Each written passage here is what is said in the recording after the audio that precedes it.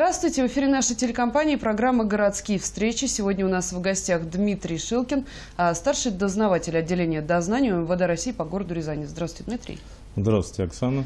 А, Дмитрий, ну сегодня у нас тема пойдет о э, преступлениях, совершаемых в отношении несовершеннолетних. Может быть, мы подведем какую-то статистику за 2015 год и уже результаты вашей деятельности за год текущий. Да, такая статистика есть.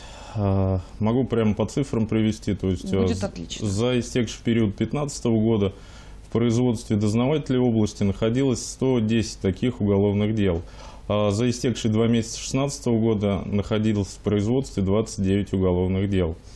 Основным составом, по которым потерпевшими являются несовершеннолетними, являются причинение телесных повреждений различного рода тяжести – а также статья 156 Уголовного кодекса Российской Федерации. Что за статья 156? А, статья 156 предусматривает а, неисполнение родителями обязанностей по воспитанию своих несовершеннолетних детей, либо ненадлежащее их исполнение. А, прежде всего, следует обратиться к Семейному кодексу Российской Федерации, в котором закреплены обязанности каждого из родителей заниматься воспитанием своих детей – то есть родители должны обеспечивать нормальную жизнедеятельность ребенку, а, обучать его, всячески готовить в жизнь, а, то есть э, давать ему какие-то первичные там азы. Наставления? Да, наставления, все правильно.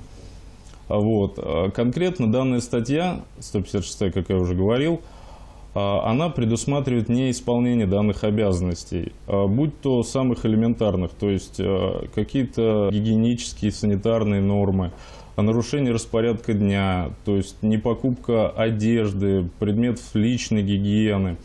Также э, данные действия должны, были, должны быть сопряжены с различного рода насилием. Не обязательно физическим. Насилие может быть как психическим, эмоциональным, то есть постоянное унижение, оскорбление э, на виду у своих знакомых, сверстников или также родственников.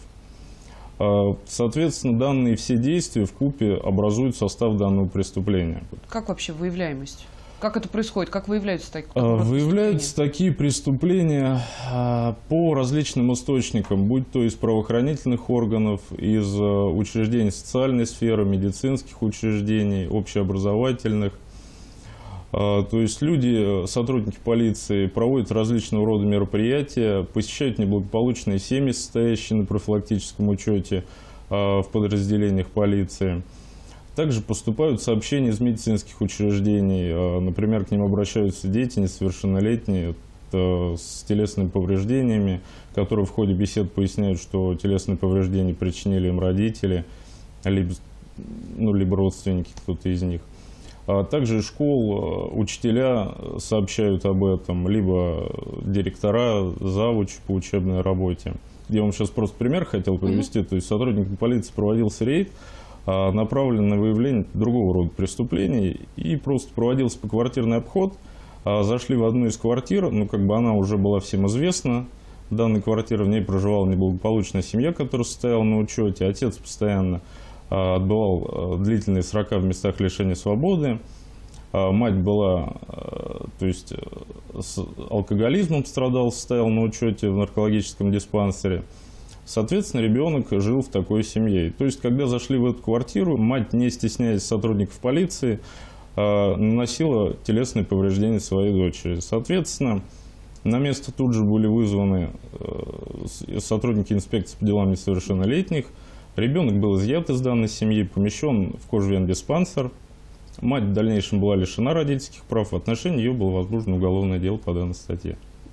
Санкции вообще какие подразумевает статья? А, санкции данной статьи предусматривают лишение свободы на срок до трех лет с лишением права занимать определенные должности, либо заниматься определенной деятельностью на срок до пяти лет, либо без такового. Угу. Кто может быть привлечен а, по данной статье? Вот. А, прежде всего, исходя из практики уголовных дел, по данной статье к уголовной ответственности в основном привлекаются, конечно, родители.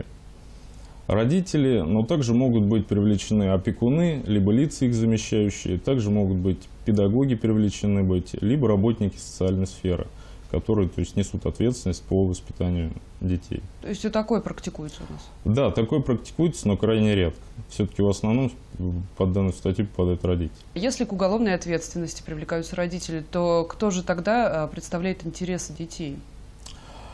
Ну, как правило, все-таки у нас семьи бывают в большинстве полные. Вот. Соответственно, если привлекается к уголовной ответственности один из родителей, соответственно, другой родитель представляет его интересы.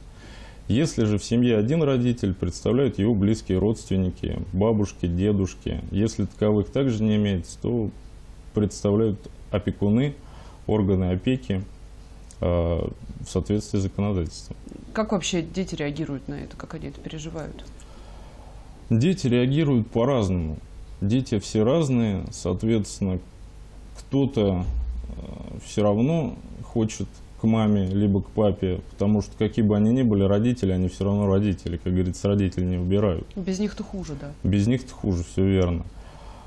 Но в целом пытаются этим детям создать более качественные условия, то есть э, стараются отдавать их на попечение либо бабушкам, близким родственникам, дядям, тетям, либо помещают в специальное, специализированные учреждения э, для вот таких вот детей. Э, с данными людьми очень тяжело общаться по одной простой причине, потому что в основном потерпевшими являются дети в возрасте до 12 лет. А, то есть Малолет, вы сами, малолетние. Да, вы сами понимаете, что значит общаться с 12-летним ребенком. То есть нужно проявить э, своего рода такт какой-то, бояться ему сказать что-то лишнее, чтобы не обидеть его лишний раз, потому что к ребенку и так было применено какое-то насилие, пережил своеобразный стресс. То есть с ними работают психологи, с ними э, работают социальные педагоги, которые все им разъясняют, говорят, что так будет лучше – и для них в первую очередь. А также сами сотрудники инспекции по делам несовершеннолетних, потому что это в основном их контингент. Угу. Соответственно, тоже они своего рода психологи проводят с ними данные беседы. Какую профилактическую работу ведете? Профилактическая работа проводится разная. В частности, э, в момент возбуждения уголовного дела, в процессе его расследования, а также по окончанию расследования, то есть дознаватель выносит представление об устранении мер, способствующих э, совершению преступления. А данные, меры, данные представления направляются в учреждения организации с, с уведомлением об обязательном ответе. В соответствии с законодательством ответ должен быть предоставлен в течение месяца. То есть представители данных организаций с пониманием относятся к данным представлениям, своевременно реагируют на них, соответственно, делают э, какие-либо выводы. Также сотрудниками полиции в рамках расследования уголовного дела э, проводятся индивидуальные профилактические беседы как с потерпевшими, так и с лицами, совершившими указанные преступления. Также проводятся беседы с педагогами э, в ну, вот, э, образовательных учреждений, где учится ребенок, с врачами, где он там, может быть, наблюдался, то есть с работниками социальной сферы.